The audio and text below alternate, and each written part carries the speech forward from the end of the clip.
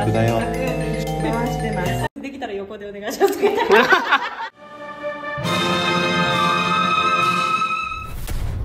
サキズチャンネル Herzlich willkommen, Misaki Channel in Yokosuka-sari. Arigatou gozaimasu.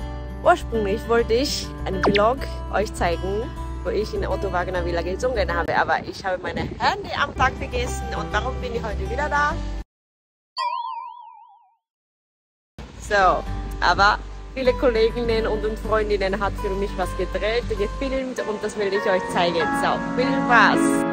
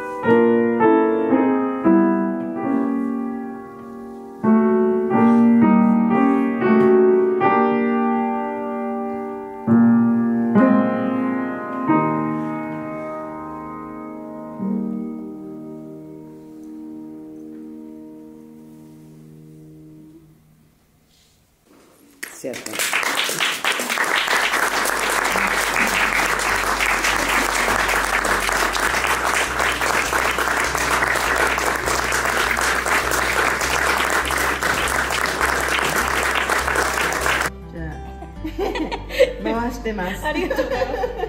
YouTuber 失格のあのあすみませんできたら横でお願いします。失礼しました大花様にどうぞ大阪の大花様に、えー、動画を撮っていただいております。はい失格だよ YouTuber 失格だよ携帯電話を忘れました。カメラも忘れました。はい。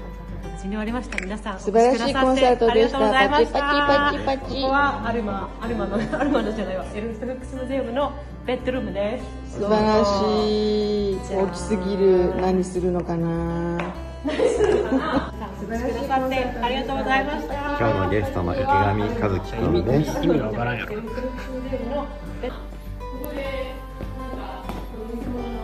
ごしごし。何を奏でるアルママーラーですアルママーラーなの？私。そんなにモテてないよね。ファムファタルでもないわ。アルママーラーは語録があるのよ例えあの人はいい人人だけど臭いし顔曲がってるしば。それツムリン月に言ったことじゃんかよ。かわいそうに。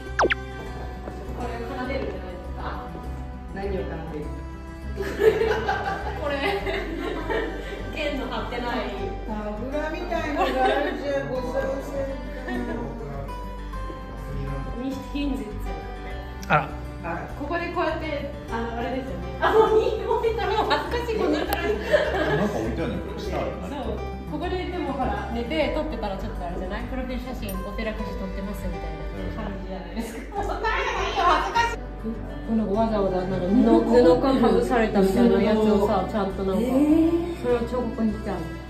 本当にかぶってるのわかる。すごいよね。ていうかねこのこの絨毯ねあそこに引いてあったんだけど音響悪すぎて取ってもらったんだ ああよかったじゃないでも今日音響良かった。大丈夫だったよね、よかった。これやったらでもアウトっぽい。これあったら本当に、あシュンみたいな感じ。あれどうする？どうする？のみたいな。やばいやばいってなって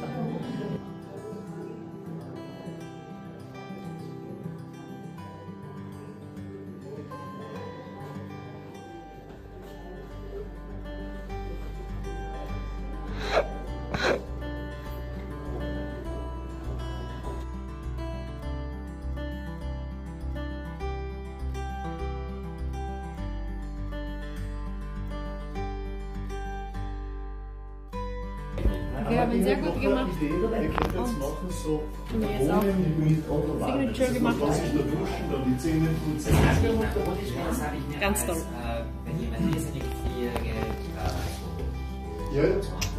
フェアティー weil denen oben das mal gibt. はい、というわけで無事に iPad が戻ってきました。これが、あえー、エアワーグナ・ビラデーです。素敵だよね。この、えーエアスト・フックスのちょっと彫刻は私にはあんまり理解が難しいんですけどでも好きな人はね本当に大好きだから。あー素敵。いいねこのオーパール色の感じとか。すごい好みで。めっちゃ雨降ってきた。やばい。帰ろう。でもこれがちょっと見たいじゃない、いよね。エルント・フックさんっていうあの芸術家の方のためのビラということでね彼の作品が飾ってあります。たくさん。色彩感がやっぱすごいよね。うん。すごいです。語彙力。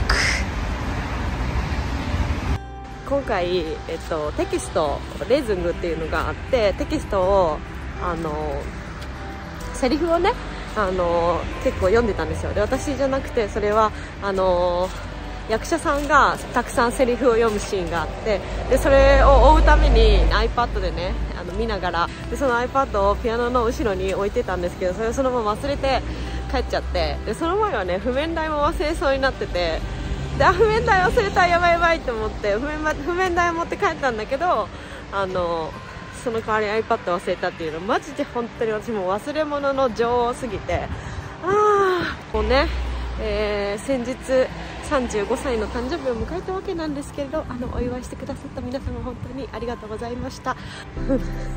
忘れ物に気をつけて過ごしたいと思います。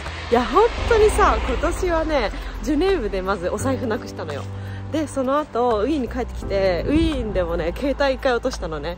でどっちも奇跡的に見つかってあのお財布はあのお金はねなくなってたんだけどでもそんなあのカード類はあのお財布に入れてなかったのであのそんな大変なこともなく大丈夫だったんですけどで携帯電話はあの iPhone を探すみたいなやつしたらなんかすっごい親切な方が拾ってくださっててで無事にね何日か後にあの手 元に戻ってくるっていうことができたんですけどいつもねこうこう甘くはいかないと思うのでしっかり、えー気をつけたいと思います。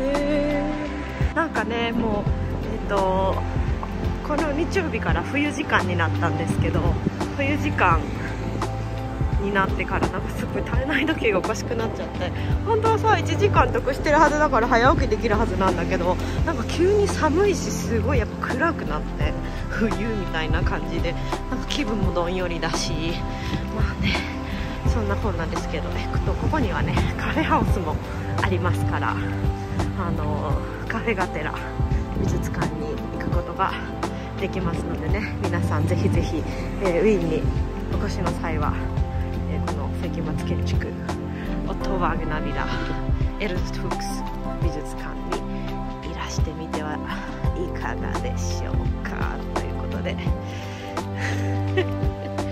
Vlog でした。